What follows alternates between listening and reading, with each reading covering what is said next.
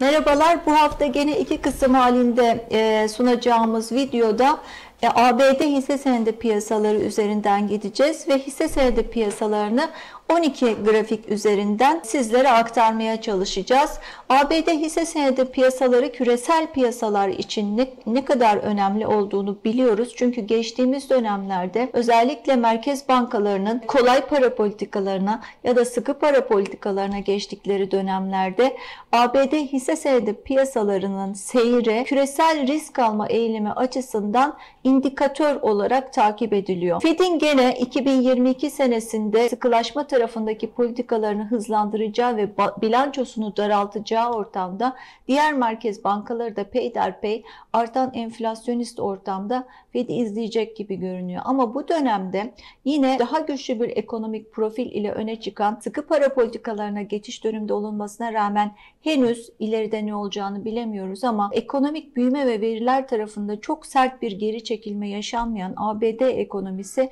gene önümüzdeki dönemde hisse senedi piyasalarındaki toparlanmaya öncülük edecek diyebiliriz.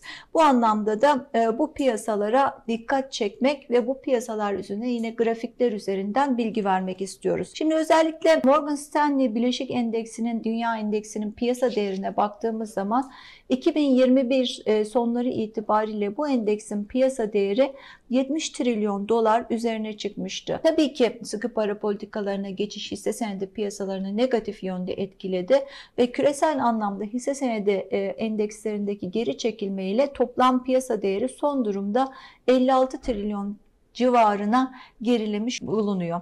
Peki ABD endekslerine bakarken ilk grafiğimizde ABD endekslerinde sanki S&P 500 endeksi çatı, Russell 2000 endeksi de zemin olarak değerlendirilebilir. Russell 2000 endeksi küçük piyasa değerli hisse senetlerinin oluşturduğu endekstir. ABD endekslerinde e, Ekim 20 2021 e, tarihinde 22 Ekim'de S&P 500 endeksi 4743 seviyesini görerek zirve yapmıştı.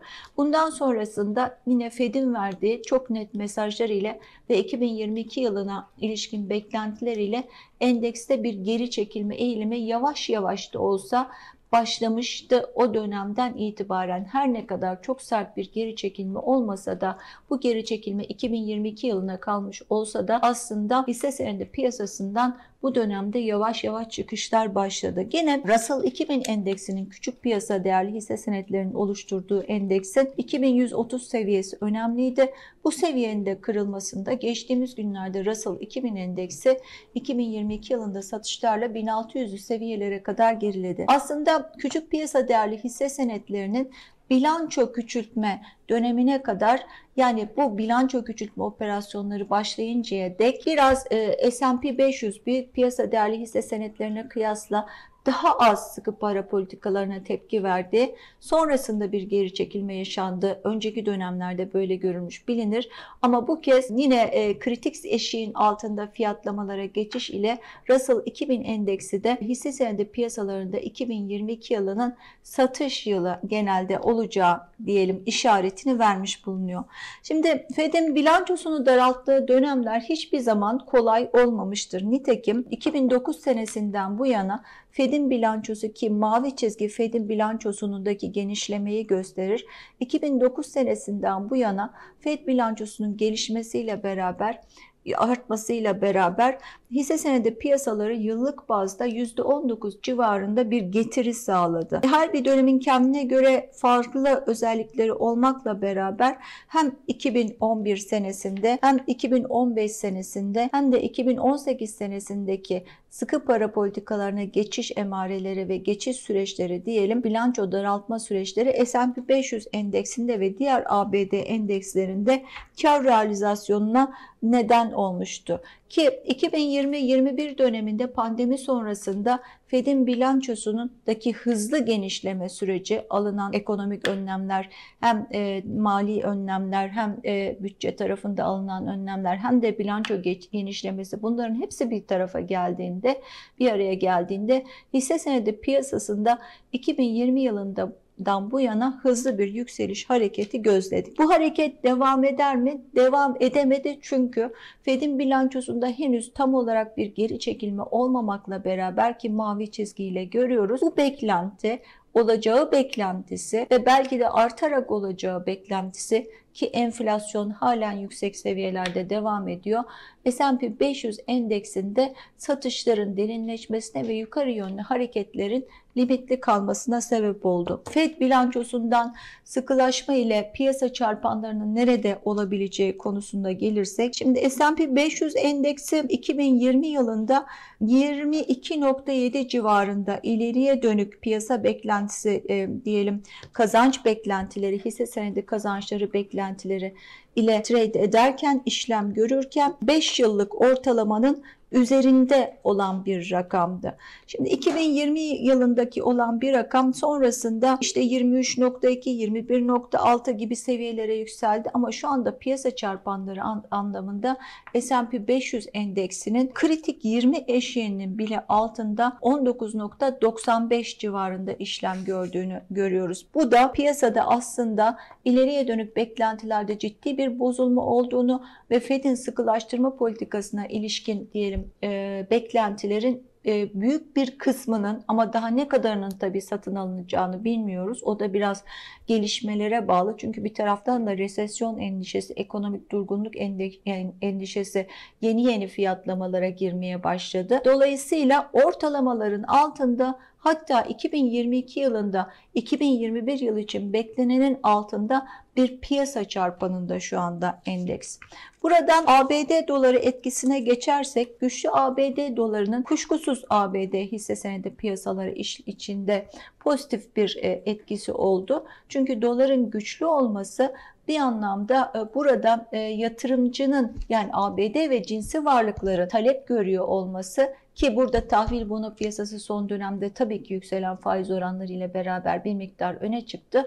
Ama güçlü dolar her ne olursa olsun ABD cinsi varlıkları hisse senedi piyasasında olmak üzere destekleyecek. Bu dönemde o yüzden de diyoruz ki ABD dolarının seyri de hisse senedi piyasalarının seyri için önemli. Burada e, aylık bazdaki grafikliğe baktığımız e, zaman en son 8 günlük ortalamanın diyelim e, 6 ve 8 aylık ortalamalar üzerinde baktığımız zaman bu ortalamalarda 6 günlük ortalamalarının ve 18 günlük ortalamanın kesişmesiyle beraber dolar endeksinde 2021 sonlarında olduğu gibi bir yükseliş yönlü eğilim oluştu. Şimdi bu eğilim devam eder mi bilemiyoruz ve trendin üzerinde bir hareket ile bu eğilim devam da edebilir.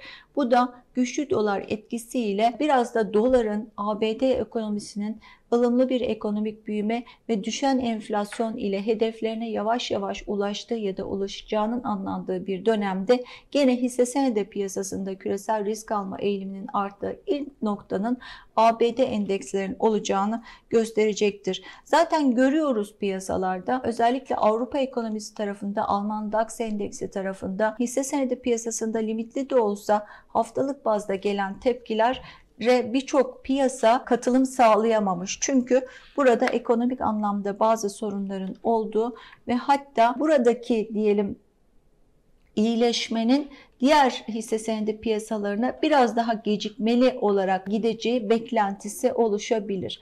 Aynı zamanda yine stratejist tahminlerine baktığımız zaman şimdi son günlerde duruyor, duyuyoruz işte yatırım bankalarının S&P 500 endeksine ilişkin tahminlerinin bir miktar aşağı yönlü çekildiğini de görüyoruz. Ve Fed'in sıkılaştırma politikaları ya da Temmuz ayında 75 bas puanlık faiz artışı ya da ekonomik durgunluk endişesi ne kadar fiyatlamaların içerisinde onu da bilemiyoruz ki bu bir, bir süre daha devam edebilir bu eğilim. Yatay ve aşağı yönlü eğilim devam edebilir. Ama ilk toparlanacak, ilk tepki verecek e, ekonomi ve hisse senedi piyasası kuşkusuz ABD hisse senedi piyasası olacak. Burada ortalama tahminlere baktığımız zaman stratejist tahminlerine S&P 500 endeksinde yıl sonu tahmini orta nokta olarak 4617 endeks seviyesi olarak ortaya çıkıyor. Yani hala aslında tam olarak beklentileri bir miktar geri çekilme olsa da mavi eğri ile görüyoruz. Stratejistler aşağı yönde güncellememişler. Bir güncelleme var ama halen yıl sonu kapanışının yine 2020 yılının ikinci yarısında belki olabilecek bir iyileşme, belki de Fed'in yavaşlamasıyla olabilecek bir iyileşme ile 4617 seviyesinde olacağını tahmin ediyorlar. Şimdilerde 3900'lü seviyelerde olduğumuzu düşünürsek S&P 500 endeksi yükselen faiz ortamına rağmen çok kötü bir tablo ki bir düzeltmeyi yapmış yavaş yavaş toparlanma eğilimine girecek beklentisi içerisinde stratejistler. Böyle olur mu göreceğiz. Çünkü merkez bankalarının bile tahmin edemediği, öngörülerinde yanıldıklarını kabul ettikleri Fed de bunun içinde bir ortamdan geçtiğimiz için bundan sonra ekonomik verileri olan hassasiyetin biraz daha arttığını ve bunun da hisse senedi piyasalarına etkisinin görüldüğü bir ortamdan geçiyor olacağız. Ama e, herhalde esas e, diyelim piyasa fiyatlamalarında iyileşme, toparlanma yılın son çeyreğinde olabilir. Onun dışında şu son e, 6 aydır gördüğümüz yatay aşağı belki sert bir hareket olmayacak ekonomik durgunluk beklentisi olmadıkça ama yatay aşağı eğilimli bir görünüm sürecek gibi duruyor. Hepinize iyi günler diliyorum. E, kanalımıza abone olmayı, bildirimlerinizi açmayı unutmayınız. Hoşçakalın.